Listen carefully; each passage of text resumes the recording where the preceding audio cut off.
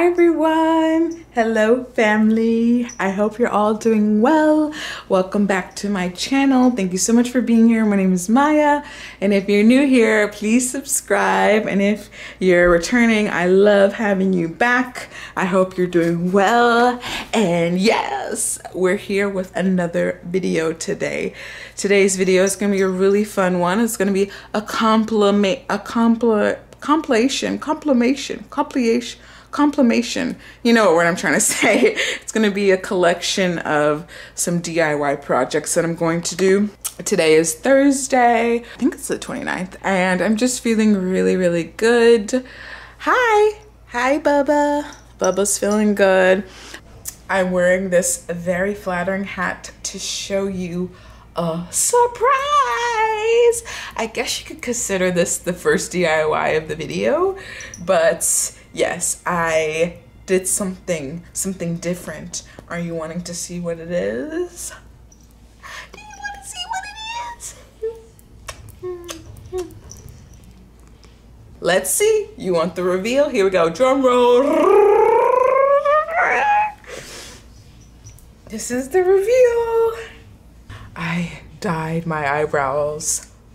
I love it so much. I think it's so pretty. And so understated. I just feel like I don't want to wear makeup. I just want, because you can see so much more of the face, you feel like. So that's really nice. I'm loving how it turned out. So that's the first DIY. The second DIY is super fun. I'm going to be making clay rings out of baker's clay. So we'll see how that turns out. My friend and I are gonna both do it. So that's super fun. I've seen this recipe from a few YouTubers, my the main one being That Curly Top, Jasmine. I study their content, I love it, and I love everything they're doing. So I'm inspired by them. I'm going to credit them to this idea and follow the recipe. And yeah, let's see how it turns out. Let's go. So I'm starting off with making the clay. You need water, salt, and flour. let's mix it up.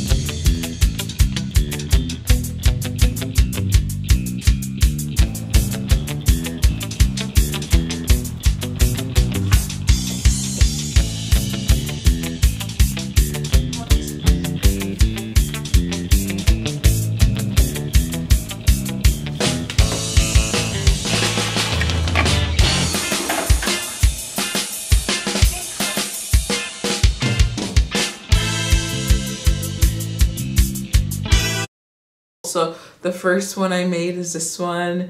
I really enjoyed the swirly patterns of clay rings that are really popular right now. I don't think this came out the best, but yeah, I think she's cute. I'm definitely gonna rock her. I'm gonna keep her on for the rest of this video. Next one is this one. It has some jewels on it. I painted it a nice electric blue and yeah i think she came out really pretty. A lot of the rings some of them got a lot of them got deformed and these ones i just made really big so they fit on my thumbs. And they're loose like this one's pretty loose. So that's the only thing is it's too big for my thumb. So definitely if i go to like a, a place where that's very busy i could see myself losing this. But if you know your measurements, not like myself, I'm sure you'll fine. Ooh, I have this one. It's a pinky ring, nice donut swirl. I like the colors. And that one really fits snug. So that one's nice. And we have this baby, which I'm gonna actually go over with clear polish or more resin because I had to glue um, glue some beads back on there and I also had to sand the insides because the circle was so uneven. I could get it on my finger pretty easily but getting it off was a nightmare. So let's see if we can get it off. I sanded it for a while so. So the sand went all over like the, the glue so it's now looking a little bit dirty but I think it's still really cool. Let's try to take it off. Ah, got it off. I'm gonna wear it because I'm so excited I can wear it. I made all these rings. Two more rings to show you. This one, polka dots, again, another swivel. Unfortunately, I used resin on this one and I put it on the back of newspaper. So it kind of looks cool, very artsy, but yes, it has newspaper on the back, but very cool. It it is too big. It kind of fits. It's a thumb ring as well. Here's another thumb ring. It's yellow with beads. Yeah, I think that's the last rings. Yes, so I'm very into the clay jewelry as you can see. I think it's so fun. Shout out to this brand Thingamajig. The Jig. The creator is so nice, Kristen. Yay! And yeah, I hope they have a lot of success with their business. These rings I got from Depop. The ones that I did not tell you I made, I got from Depop. Okay, so continuing on with our clay sculptures, I made this candle holder. Here's the candle. I made this candle holder.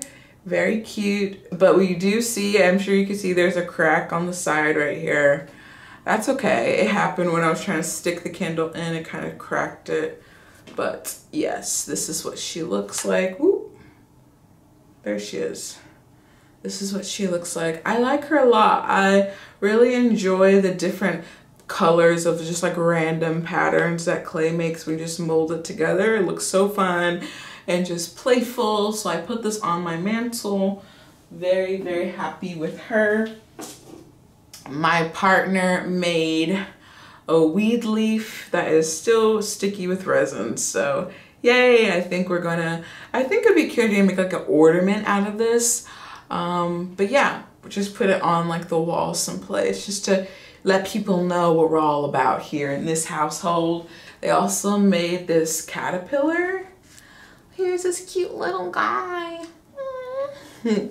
this caterpillar, they don't have a name yet, I don't think. And they're on some flower, some pressed flowers that they glued some, to some cardboard. Very creative, very creative, very nice. The next thing I have to show you that I made from clay is this beautiful heart. Oh, I wanted to make it like a tray, like a catch-all tray, but you know, now I'm thinking be better to just put on the wall, like a wall decoration. I placed some rose petals on the outside just to give, emphasize the energy of love in this art piece. But yeah, it's just gonna go like in my collage of photos of, in the living room. I'm just gonna put it in the center of that and I'll do a cutaway of what it'll look like. I think it'll look cute. And this is what the back looks like very interesting. the clay really stuck to the pan. So if you're gonna do this, think about, you know, how, how you're gonna make it not be stuck to the pan and stuff. Um, and I, I, yeah, I just put resin on this to make it all shiny like glass. Very cool. The next thing I have to show you is this little mushroom guy. Little cute mushy mushroom that I made. It's pretty self-explanatory. This one, the top did come off, but I put resin on the inside and stuff and then stuck it on here. So maybe it's just stuck like that, which I'm not mad at. So this might just be its final form, but I originally made it with the cap being detachable. So yeah, but I put resin on it, so kind of just stuck it all together. I really like this to put on another DIY I will show you later, but I just love this as decor. It reminds me similar to one of those like mushroom glass paperweights, except, you know, this cost me five dollars to make or something as opposed to 300 or whatever however many much it is. So yay i love that. Next i have an assortment of things. Fruit ah, to go along with the whole decor just along with the mushroom paperweights i love fake fruit decorations that are made out of glass typically so i thought hey why don't i make them so I made a strawberry and a banana. The banana is like one of those like smaller Indian bananas or I don't know exactly what you would call these small bananas. If you know, let me know. Um, but not the American ones, the small ones. And a very, very oversized strawberry. Yeah, it's very big. It's almost the size of a banana, so that's huge. Imagine a strawberry this big. Ooh. And we have a little, little crab apple here. Yeah, about the size of the strawberry. So we have a nice fruit salad here and I just placed them on the DIY I'm going to show you later. And it looks so cute and I love it and it's something I made. So it's not like detached like I bought it from Etsy or something. It's something I made. That's really nice. Woo! Woo DIY Alrighty, two more clay things to show you and then we'll be all done with the clay DIY. So the next two things I have to show you are ashtrays. These ashtrays are really, really cool because they have pressed flowers on the inside. And I just, you guessed it, put resin on them. Resin's my best friend for this video. I used it for all of the clay projects. So yeah, this one is just the clay colors, we did not paint it. I just put the flowers in and put resin on top. So it's a cute little ashtray. This is what the back looks like. Not very, you know, again, like baked, gone wrong, a little bit burned. But I think it's really cute that I like the hue, the burned look. Hmm, looks like art or something. And then I have this one, which is very big. It's like the biggest ashtray I've ever seen. If you could eat off this, I'm sure it could be used as a plate, but I don't think you can eat off resin. It hasn't even dried completely. It's still on my fingers. So yeah, and again, back of news, it's newspaper on here. So I love it. I love having the flower energy embedded in it. I think that it's just so sweet and it makes me feel connected to the flowers, to that earth element, which is so nice for Taurus season. It just feels so lovely, um, especially right now for Taurus season. So I love this. I would love to make someone a gift for some reason and give someone this. I think it's just such a fun gift. So if you're interested making ashtrays, baker's clay works really well and yeah, here's an idea of some pressed flowers. The striped paint reminds me of this one potter, potter, pot, potterist, someone who does pottery on Instagram that I follow. She's Danish and she does a lot of this type of colorway and a simple design and I love her work. So that reminds me of her. The next DIY I have to show you is clothing. So I had this turtleneck that I really didn't wear a lot just because it made me look kind of frumpy. I love the way the color is and I love everything about it, but just the way it fits on my torso, it just didn't suit me. So I thought I could DIY upcycle it somehow. I love this top I'm wearing now. It has the cutouts. I thought maybe I could just do like a cutout sort of thing, but then I was like, hmm, that seems like too complicated. So I decided just to cut out literally the whole torso of it and just have it be one of those cool sweaters that just have like the turtleneck and the sleeves. I love that because now I can get to layer it. I don't have the bulk of, you know, putting the whole thing under an outfit. I can just put the top on here. And someone like that I wore this around told me that it reminded them of uh, in the 80s or something. I guess people used to put these types of shirts underneath stuff to show that they were like layering underneath their stuff. So I thought that was so cute. So you can wear it on top or underneath clothes, like a t-shirt or something. I love it. I think the color works really well. But yes, it's so cute. I did thumb holes in the sleeves too, just because when sleeves go over your hands. It's such a vibe. You know, you just feel like so cool. Like, so I love that. I love this DIY. I'm so proud of myself for trying it out, trying something new, not being afraid to take a risk because I think it turned out pretty cool. I'm happy with it and I have nothing like it in my wardrobe. So I feel like I'm gonna wear it a lot more. This is a great example of why upcycling stuff is so helpful because you save resources, money, and you get to use, reuse something that you already have. Next piece I have to show you is another clothing item that I have that I upcycled and it is this radical green jumpsuit. So originally the buttons were itty bitty teeny tiny super small and every time I wore it the jumpsuit just like bust open and my ladies would say hello when I didn't really want them to. So I figured if I get bigger buttons it'll make it more secure and stuff and I could reuse those buttons on something else that I love. So here's the finished look. Here are the buttons I chose. Really nice spring pastel colors. I love the the colorfulness of this and the artisticness of them. Favorite button is of course the Apple button, but they're all a little bit different than each other. I love it.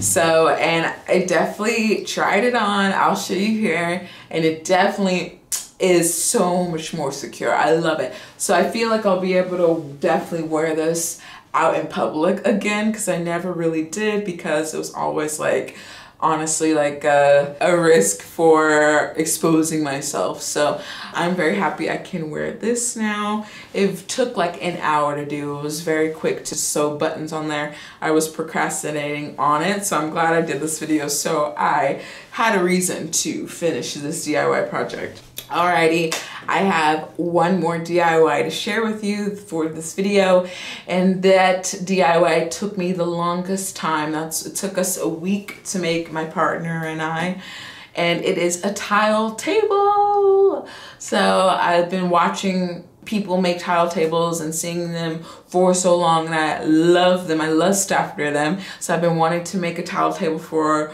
I would say a few months now and we finally got around to it thanks to this video. So uh, yes, we had a lot of hiccups and I actually recorded us talking about it earlier this week. I will insert this footage here us talking about the experience making the table. So to make this, I started with an 8 foot 2 by 12 It was cut into a 4 foot and two 2 feet pieces. Just put together in an upside down U shape to be the legs and the table used wood glue and then once that dried I just put some screws in it. And then when we got the tiles we realized that the tiles were wider than the thickness of the wood.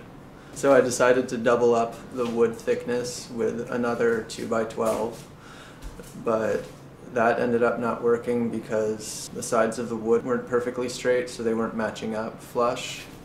So instead I use 2 by 4s on either side to double it up the thickness. Again, I used wood glue and screws for that after sanding them down a little bit. By this point it was very heavy, even without the tiles. So we brought it upstairs to do the last stuff up there because with the tiles it'll be even heavier. We started putting on the tiles with the mortar first time around didn't work out. We mixed too much mortar for the amount we were doing and it dried before we could get everything on. And the mortar was warm and so oh yeah we used the temperature of the mortar affects like if it's hotter it will affect how the, quickly it'll dry the, the water that was mixed with the mortar yeah yeah so i had to scrape off all that old mortar start again with that um, and then doing it in increments instead mm -hmm. that worked a lot better but the cool water. The, the last few were still really hard because the tools were so gunked up with dried mortar. So how long in all would you say this project has taken us? How many hours? Versus how how long you thought it would take you, us. Hours of work or mm-hmm. like days, hours. It's been really spaced out, so I'd say it's probably been like ten hours of work maybe. But spaced out because you have to wait for glue to dry wait for, for glue to dry. Hours. So give yourself some days just because figuring out the dimensions, figuring out unforeseen setbacks will occur when you're creating anything. What have you learned for the future? I mean, I guess it, didn't really learn this, more of just a reminder that any project that's something you're new to will have setbacks and you'll have to adapt as you go. Mm-hmm. All right. Well, I can't wait to see the finished look. We still Yeah. have the grout to do, so we're gonna do that and then be done. Oh, yeah. Let it dry and then be done. Uh, Clean it off. and then the other step before the grout is sawing off the, the very Oh, bottom yeah. of the wood because it was a little bit too long. So the tiles uh, just left a gap at the bottom, and Maya doesn't like how it looks. Mm-mm, not at all. So we have to hand saw the table to be the length we want it to be, and then we grout.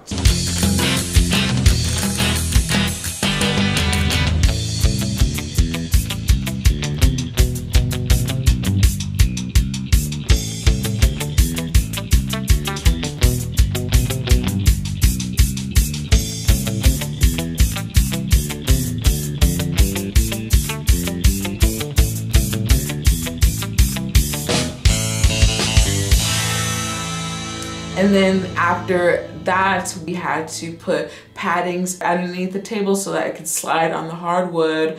And yeah, that was pretty much it. We could just clean it off, make it look nice, and admire our hard work. It was so worth it. I love it. I think it was well worth the price in all it was under 300 for sure to make the tables around 200 with materials and and all the necessary things that it took to make. And in terms of work time it was about 10 hours i would say of constant straight up workload. I'm very happy with this and i hope you enjoyed this little video showing you some stuff i've been making recently. I love seeing what people are making and inspired by and I hope you can share with me something that you're inspired by if you'd like.